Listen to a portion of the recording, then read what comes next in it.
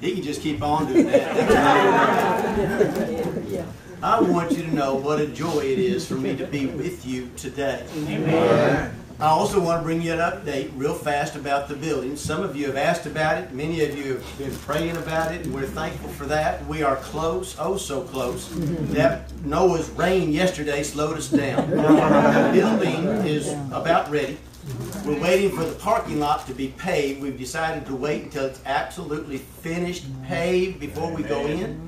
And so that's going to be about another week and a half, two weeks. They were hoping for Easter next Sunday. We're missing that. That's okay. If we have to wait till the first week or second week of May, we're going to be good. Now, Jamie, I'm hoping we're going to be in the building before you come speak for us during the summer series. You're at the late end, so maybe it's a good chance. We're excited about it. We appreciate so much you guys' concern and prayers and comments that have been an encouragement for us. I hope you have your Bibles today. If you've heard me speak, you know one of the first questions I'm going to ask is, if you got your Bibles with you today, hold them up. Don't get a psalm book. if you got the techno stuff, that works. As long as it's keyed not to the to any of the games or Facebook or stuff. All right. You know by now I love the Bible. The Bible. I'm going to turn the pages of the Bible. Before I go any further, Brother Hines, it does a heart good to see you today. It's been an awful long time for me, and it's a joy to see you here. Sister Hines, you've done well keeping up in line. The text this morning, or this afternoon, I'll get the afternoons and mornings straight in a few moments. Matthew 16. I'm going to start in verse 24. Then Jesus said to his disciples, If anyone wishes to come after me, he must deny himself, take up his cross, and follow me. For whoever wishes to save his life will lose it, but whoever loses his life for my sake will find it. Mm-hmm. For what will it profit a man if he gains the whole world and forfeits his soul?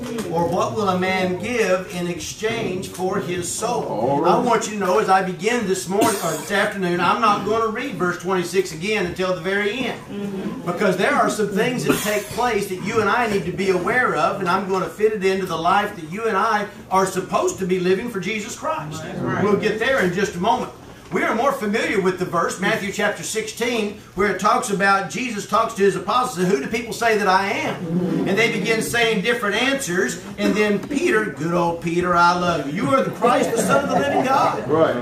And Jesus said to him, Blessed are you, Simon Barjona, because flesh and blood did not reveal this to you, but my Father who is in heaven. Uh-huh. And he goes on and says a few other things, but beginning in about verse 21. From that time on, he begins to tell the apostles about the death that he's going to undergo. He's getting them geared up for the cross. Now, Christ has been into that as soon as he began his ministry. The apostles aren't all familiar with this. So Jesus is beginning to tell them how he's going to be killed, how he's going to raise up again on the third day. Look at verse 22. Peter took him aside. There's Peter, and he's still not learning anything. and rebuked him, saying, God forbid it, Lord, that you'll die. This shall never happen to you. But Jesus turned to him and said to Peter, Get behind me, Satan. You are a stumbling block to me, for you are not setting your mind on God's interest, but man's. That's right. Then Jesus said to them, If anyone wishes to come after me, you and I are very, very comfortable with the idea of the plan of salvation. We've got it down to five points, am I right? Mm-hmm. To hear, believe, repent, confess, and be baptized. We got that down. Amen. But perhaps to many of us, when we have been buried in baptism, God's plan of salvation has been completed and all is well with our soul. Mm-hmm. Listen to that again. Mm-hmm. To many of us, Right. Right. salvation All right. is finished. Right. I'm good. Yeah. I got into that water. I was baptized. My sins were washed away. I've been added to the church. I can do whatever I want to do. Am I mm. right? But I'm, I'm going to talk to the church today. I'm not talking to the pagans. I'm not talking to the Gentiles. I'm talking about Christians today because we have gotten caught up with this mm. idea of salvation. I'm good. Mm. Just because I got wet. But there's another step in God's plan, and that's what Matthew 16 is about. That's right. Right. Right. When Jesus confronted Peter after he said, Oh, this isn't going to happen, mm-hmm. Jesus was telling Peter, But you don't know. You don't understand. Mm-hmm. And you need to understand about this denial process. If anyone comes after me, he must deny himself and take up his cross and follow me. And that's where I begin this afternoon. We'll get to verse 26. All right. That's all right. But I want you to understand what that verse 24 is saying. Because for Christians, that's vital for us to understand.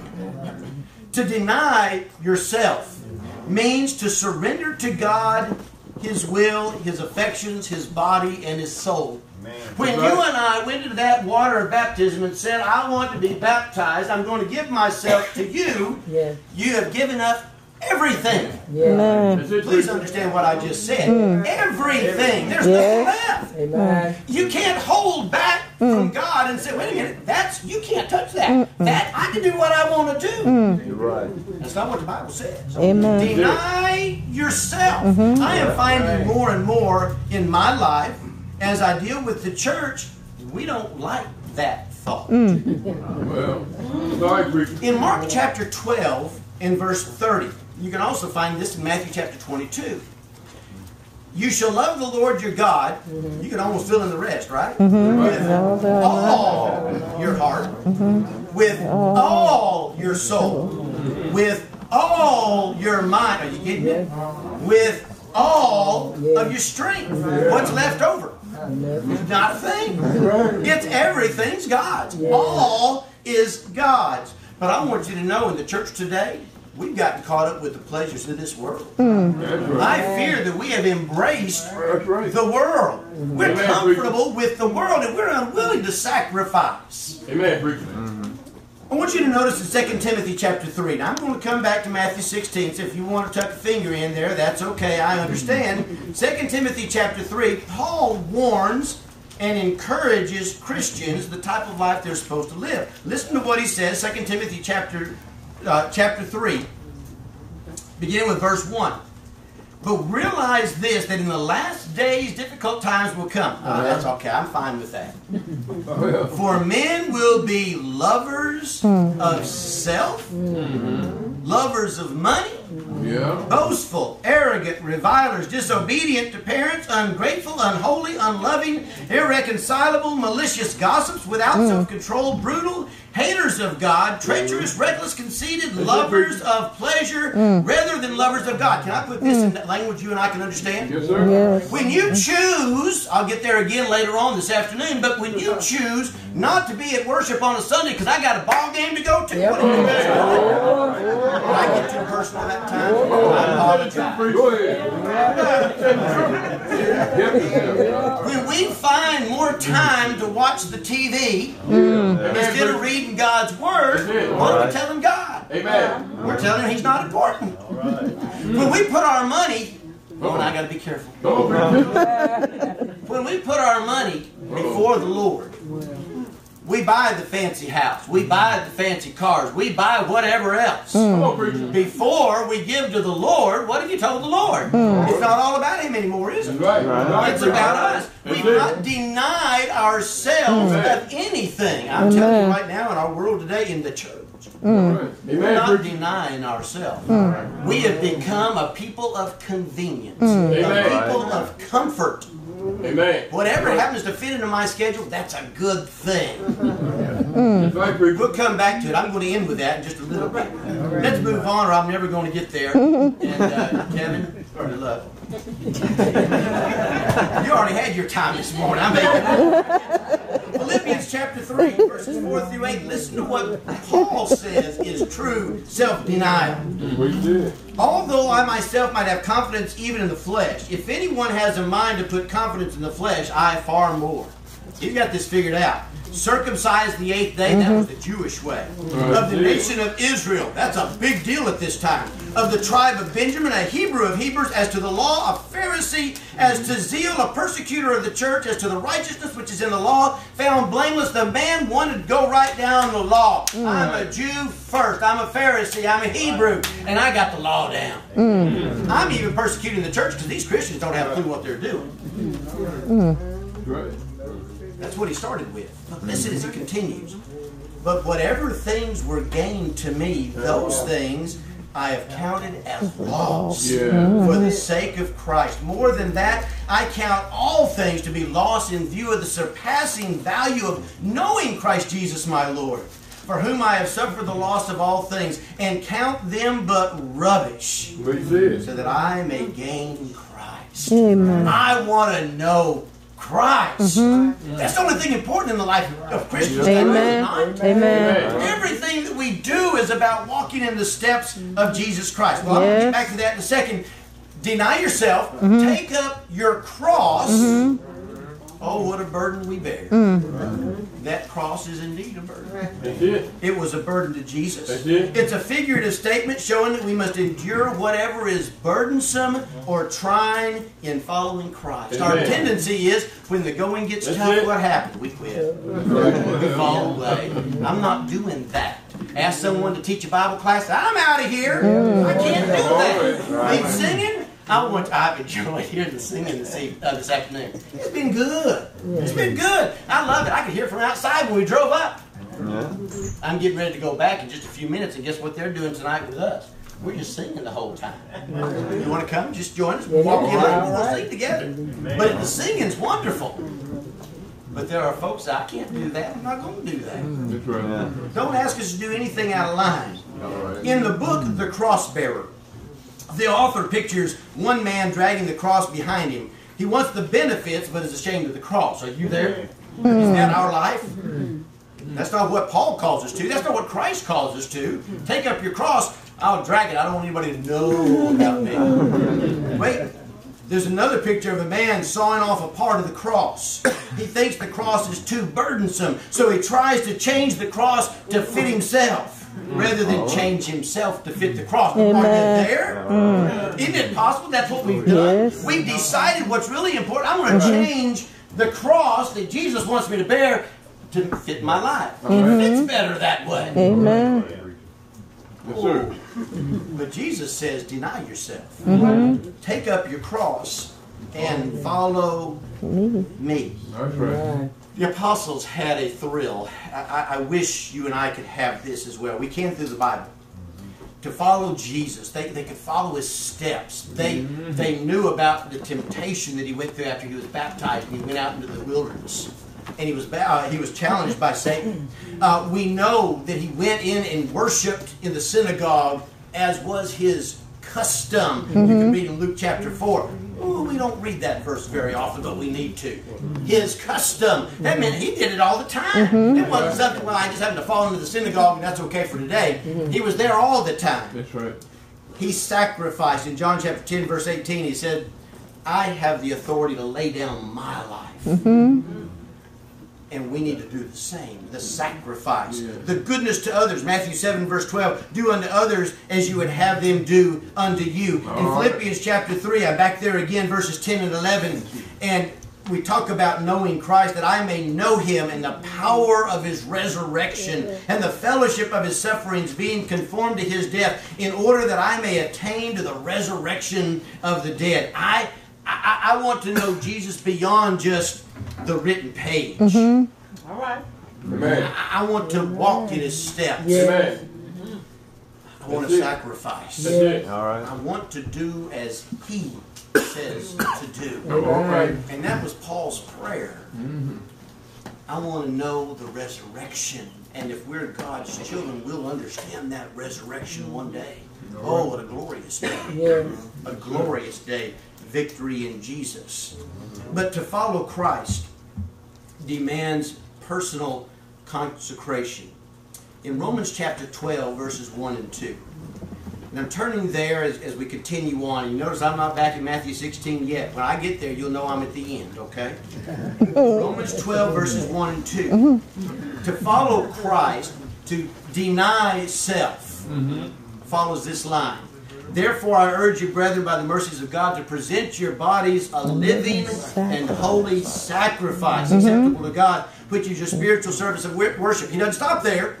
And do not be conformed to this world. We need to highlight that. We need to spread it around. Our problem is we're right there. We're with the world. We're in the middle of the world. We're not leaving them behind. Amen. We got to raise the bar if they're going to see anything different. Amen. Be transformed by the renewing of your mind. That's that taking up your cross. That's that self-sacrifice, self-denial, so that you may prove what the will of God is, that which is good and acceptable and perfect. To devote or to dedicate. That's that dedicate. That's that consecration idea. Um, to set apart to deity. In this case, set apart to God. When we talk about consecration, we're talking about sanctification. We're talking about being set apart for God. That's what Amen. Matthew 16, that's what Jesus was saying. Deny yourself and take up your cross and follow me. He requires consecration. He requires that sanctification in our lives. We can't live the normal life as they do out Right. there. Amen. Right. We've changed. We Yes. need to hear. Thank it you, Lord. changed. Mm-hmm. Everything changed. Yet I find more and more we're wanting to hold on. Mm. We're still wanting to be a part of this world and say, yeah, but I don't like it. Yeah. I Can't like it anymore. Mm. You gotta leave it. In 1 Peter chapter 3 and verse 15, it says, Peter says, but sanctify Christ as Lord in your hearts. Always being ready to make a defense to everyone who asks you to give an account for the hope that is in you, yet with gentleness and reverence. Sanctify Christ as Lord in your life. What a challenge. Mm. But when we take him and put him into our lives, I want you to notice these next two verses, so very important for us to understand. In 2 Corinthians 3 and verse 18, Paul writes, But we all with unveiled face. Right. Beholding as in a mirror the glory of the Lord are being transformed into the same image from glory to glory, just as from the Lord the Spirit. Hear what he said? When you become a Christian, Mm-hmm. you're looking at a mirror. Mm-hmm. And as you mm-hmm. look at that mirror, you begin to see Jesus. It's a process, by the way. I said like Coach Saban. It's a process. Yes. It's not going to happen because you get out of that water wet. Mm. All right. It's a day by day right. challenge to That's grow in the Lord, Yes. deny himself, take Yes. up your cross, Yes, follow sir. Jesus. Yes. Amen. And the more you do that, the more you become in the image of Jesus. Amen. Christ, a reflection of Jesus in mm-hmm. all that we do. Man. It leads us to a Christ-centered life. Yes. Galatians 2:20, I've been crucified with Christ. That's it. It's no longer I who live, All right. but Christ lives in me. Can you say that this, mm-hmm. this afternoon? I mean, I'm Absolutely. talking about saying without a doubt mm-hmm. that it's no longer about me. Amen. It's about Jesus. Amen. And that's so very important. In Philippians chapter 1, verse 21, Paul says, For to me, to live It's Christ. is Christ. Mm-hmm. To die is gain. He's in a win-win Christ. situation. Oh, that that would be your prayer and my prayer every day. Amen. How do we show our commitment? I, I found this somewhere. Don't, don't ask me where. Don't hold me to that. But listen to it. It makes a little bit of sense and if it makes you cringe. I don't apologize. Mm. All right. All right. I say go home and check it out. Amen. Lord, I appreciate so much your sacrifice on the cross. Mm-hmm. I appreciate it so much that I'm going to dedicate one hour a week on Sunday hmm. morning to you. All right. No, no, no, don't even me yet. that doesn't even sound right. Oh. Sound right to you? Mm-hmm. All right. Wait, wait. All right. I really love you so much. Mm. I'll give you four hours a week. I'll give you Bible mm. class. I'll give you Sunday morning worship, Sunday evening worship, Wednesday Bible class. That's a good thing. That's how much I love you. Uh, That Yeah. is. That is. Unless it's too cold. Or too hot. come on, preacher. All right. Or too windy. Come on, preacher. Or too rainy. You heard some of that? I've heard. Yeah. I know I'm stepping on toes. Again, I'm not going to apologize. I've heard from Christians, I can't get out tonight. It's too wet. They'll go to the football game and sit in Come the wet. In the rain. I don't understand it. Or, unless I'm too tired, or I have company, or I hurt so much I'm uncomfortable, I can't sit in those pews. Mm. Mm. But I don't mind sitting on the football field pews with If Jesus, if Jesus had had the attitude many of us have, Yes, sir. his prayer in the garden may have gone like this Father, I know that you have a job for me to do today. But can we put it off? Mm. I- I've had a busy day. Mm. Cleaning out the temple, mm. debating with your enemies. Besides that, Mary, Martha, and Lazarus are going to stop by to see me, and you know how important friends and family are. Mm-hmm. Father, when I drove out the money changers, I sprained my back, mm. Mm. And I'm not too comfortable right now. Could we maybe wait until I feel better? Yeah. Not only that, but it looks like rain, and you know how rain affects me. Yeah. I want to do your will, Father, but let me do it at oh. my discretion. Preach it, preach it. Can you imagine? That's it. Can you imagine that Jesus would have even considered such? Mm-hmm. Wow. He prayed that this cup may pass from me. Oh, but not my will. Your will. We see it. Oh, that we as God's people Yes, sir. would take on that attitude. Amen. It is almost blasphemous Come on, preach to think of Jesus praying such a prayer as I just read. Yet, we hold God to accept our excuses. That's what I do. God forgive us and have mercy upon us. If anyone wishes to come after me, he must deny himself and take up his cross and follow me. Yes, sir. For whoever wishes to save his life will lose it. That's it. But whoever loses his life for my sake will find it. For what will it profit a man if he gains the whole world and loses or forfeits his soul? Yes, sir. Or what will a man give in exchange for his soul? You see, when you go back to verse 24, it really does fit, doesn't it? That's right. Because what the Lord is calling for us to do, as He shared verse 26, mm-hmm. Is for us to deny ourselves.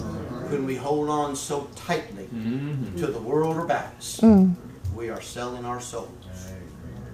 Again, God have mercy upon us. Amen. When we Sorry, forget about denying ourselves All right. and right. following That's good. Christ.